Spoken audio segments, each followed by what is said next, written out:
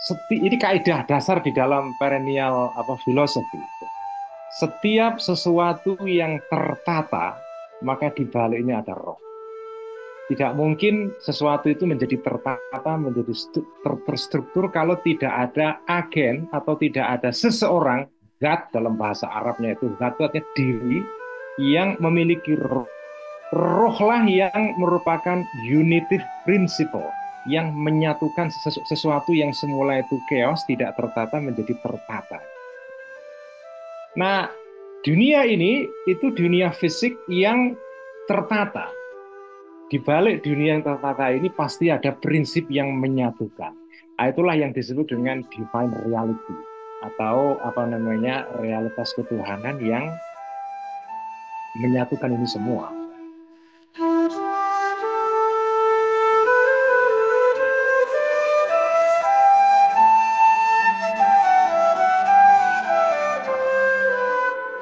Assalamualaikum warahmatullahi wabarakatuh. Alhamdulillah wassalatu wassalamu ala Rasulillah wa ala alihi wa ashabihi wa man walah ba'd. Saya mengapresiasi Nurul Wala yang mengadakan forum seperti ini.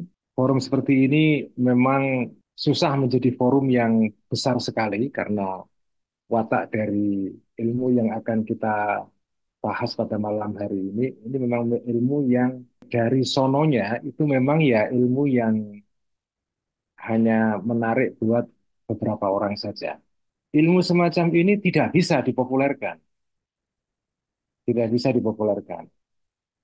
Uh, Anda mau pakai TikTok untuk mempopulerkan ilmu, ya nggak akan populer. Jadi ilmu semacam ini itu memang wataknya adalah kalau menggunakan istilah yang agak sedikit serem ya, ilmu yang elitis memang. Bahkan Kanjeng Nabi sendiri itu tidak membagi ilmu seperti ini kepada semua sahabat. Ada sahabat-sahabat tertentu yang diberikan ilmu semacam ini. Salah satunya adalah Sayyidina Ali. Uh, tidak semua sahabat Kanjeng Nabi itu diberikan akses oleh Nabi kepada ilmu-ilmu seperti ini. Nah, kalau saya menyebut ilmu ini itu ilmu apa? Malam ini kita menyebutnya sebagai filsafat perennial. Istilah perennial dalam bahasa Inggris itu artinya adalah sesuatu yang bersifat uh, tidak sekedar abadi ya. Perennial itu abadi tetapi juga primordial.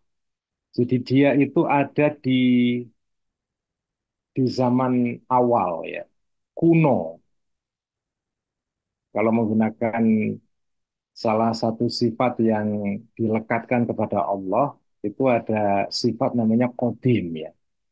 Kodim itu uh, masa lampau tapi ya keabadian yang uh, berlangsung di masa lampau. Karena ada keabadian yang menuju ke depan, ada keabadian yang yang berlangsung di masa lampau. Artinya sesuatu yang tidak punya awal. Nah, kata perennial itu sebetulnya uh, memiliki dua pengertian itu. Pengertian dia abadi, tetapi juga abadi dalam pengertian dia kodim, kuno. Kuno dalam pengertian ini sesuatu yang ada pada awal segala hal itu.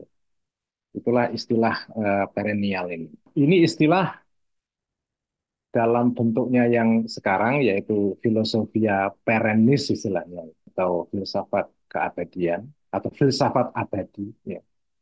Itu sebagai istilah uh, mula-mula dipakai oleh seorang apa namanya filsuf Jerman pada abad ke-18 yaitu Leibniz ya. Dialah yang uh, pertama kali mengenalkan istilah filosofia perennis ini. Nah, istilah ini kemudian dipakai oleh banyak para penulis dan para sarjana modern, uh, dipopulerkan oleh seorang pengarang Inggris namanya Aldous Huxley yang menulis buku judulnya Perennial The Perennial Philosophy ya. Terbit pada tahun 1946, setahun setelah Indonesia merdeka. Lama sekali ya, ya sudah lumayan lama.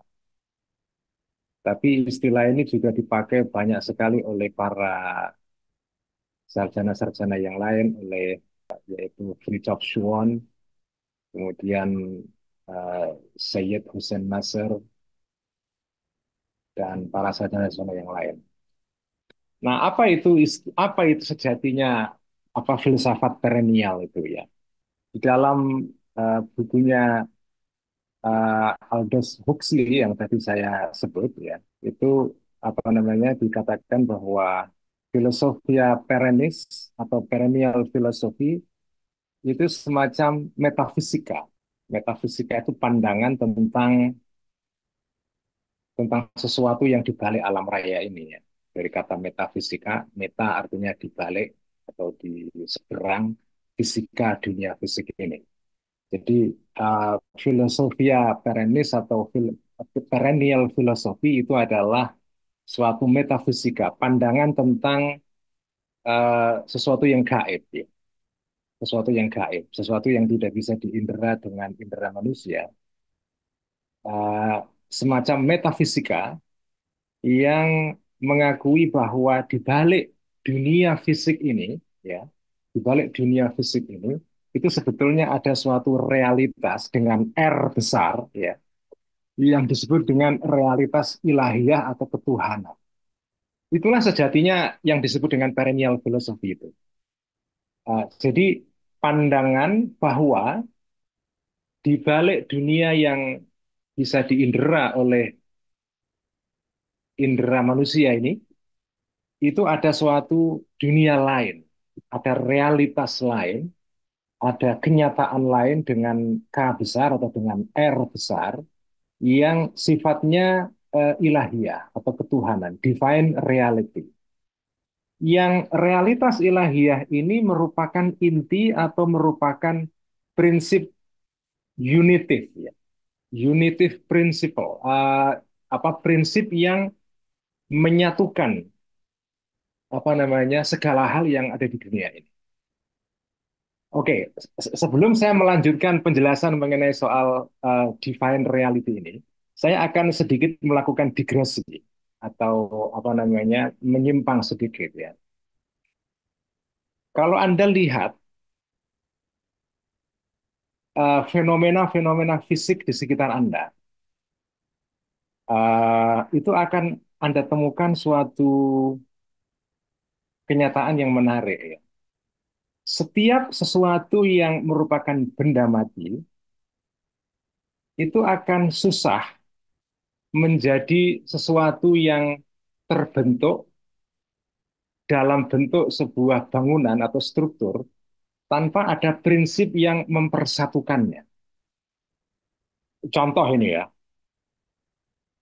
kalau Anda misalnya uh, membeli batu bata dari toko bangunan, di, dimuat di, di sebuah truk, kemudian dari truk itu kemudian di apa namanya di unload ya, di diunduh apa di ya, diturunkan ya.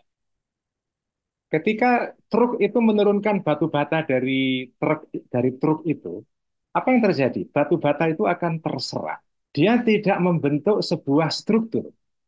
Dia tidak membentuk sesuatu bangunan yang menyatu, yang uh, solid artinya dia menjadi sebuah bentuk yang bisa dilihat, ada strukturnya, ada polanya dan seterusnya. Kenapa? Karena sesuatu yang tidak mempunyai roh di dalam dirinya, dia tidak bisa menjadi tidak bisa membentuk dirinya menjadi suatu kesatuan, menjadi sesuatu yang uh, bisa dilihat ada bentuk strukturnya. Anda misalnya menebarkan batu, ya, Anda tebarkan, itu batu itu akan terserak dan dia tidak membentuk pola apa pun. Dia ya acak saja. Batu itu akan menjadi pola kalau ada seseorang yang mempunyai roh di dalam dirinya yang mengumpulkan batu-batu itu kemudian disusun menjadi sebuah struktur. Misalnya ada anak-anak yang memunguti batu-batu itu dari tanah, kemudian disusun menjadi sebuah bangunan, menjadi suatu bentuk tertentu atau batu bata tadi itu dipungut, diambil oleh para tukang batu, disusun menjadi sebuah tembok. Nah, adanya seseorang yang disebut dengan manusia dalam hal ini, yang menjadi agen, ya, agen itu adalah sesuatu orang yang punya kudroh dalam bahasa teologi Islam, orang yang punya bukan hanya butuh tapi juga iroda. Orang yang punya iroda, punya kehendak, dan sekaligus punya kudroh, kemampuan untuk menyatukan sesuatu. Ketika tukang batu itu memunguti batu-batu bata itu kemudian disusun menjadi sebuah tembok, maka batu-batu yang semula terserak tidak menjadi sebuah struktur, tiba-tiba berubah menjadi struktur. Dari sesuatu yang tidak berbentuk menjadi punya bentuk, mempunyai surah, mempunyai bentuk itu. Nah, kenapa manusia bisa melakukan ini? Ini pertanyaannya. Kenapa manusia bisa menyatukan sesuatu yang terserah? Dan manusia di sini manusia dari berbagai level ya. Level yang paling rendah anak-anak. Anak-anak itu bisa memunguti mainan dari apa namanya lantai rumahnya. Dia punguti dan kemudian setelah dipungut dia susun menjadi suatu sesuatu bentuk atau permainan Lego misalnya. Kenapa seorang anak bisa menyusun Lego? Ini pertanyaannya. Karena di dalam diri manusia ada sesuatu namanya prinsip penyatu. Unitive principle. Prinsip yang menyatukan sesuatu yang semula terserah. Prinsip ini ya dalam bahasa kita sebagai eh, umat Islam itu disebut dengan roh gitu ya. Roh itulah yang membuat sesuatu yang semula terserak menjadi menyatu. Begitu roh ini tidak ada, maka sesuatu yang semula merupakan struktur itu bubar lagi.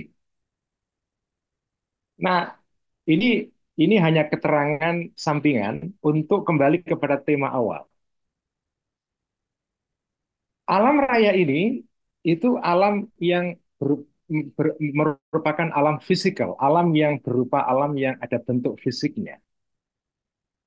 Alam ini itu alam yang tertib ya, tertib.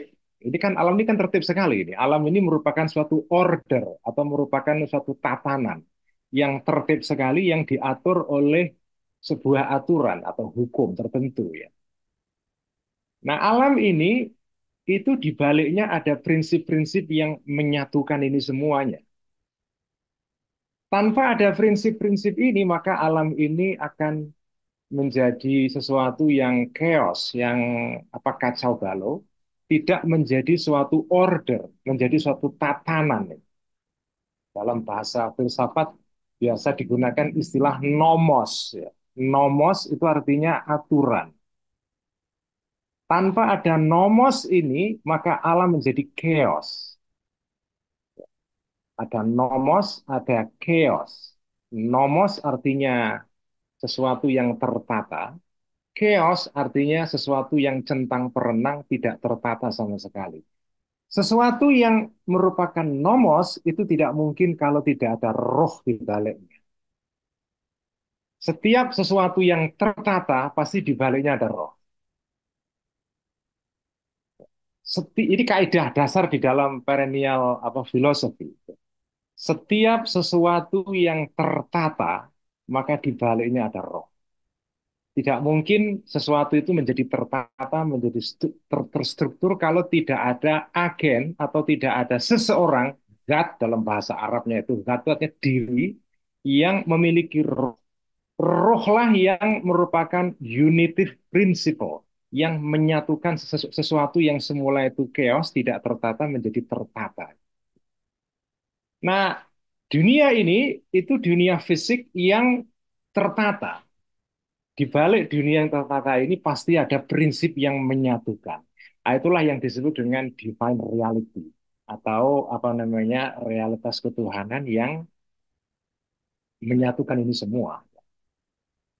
Oke, ini adalah pengertian dasar uh, tentang perennial filosofi ya.